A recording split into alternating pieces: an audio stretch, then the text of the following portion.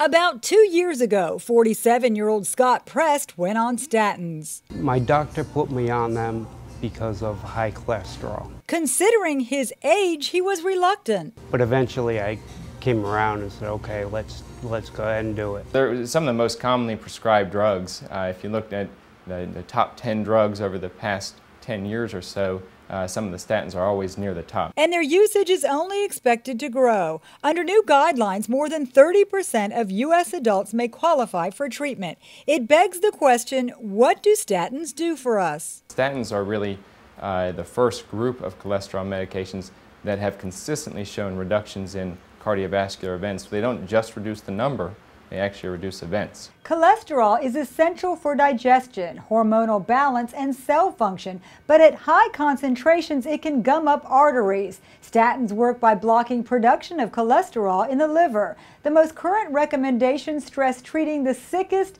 and those at highest risk of a heart attack or stroke. Divided into four risk categories, one includes people with greatly elevated cholesterol, defined by an LDL greater than 190. Scott's level hit 400. I tried it, tried using diet to regulate it, and that didn't work.